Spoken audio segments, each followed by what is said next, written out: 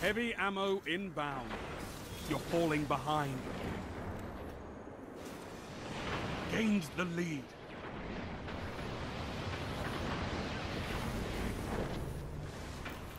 Heavy ammo available.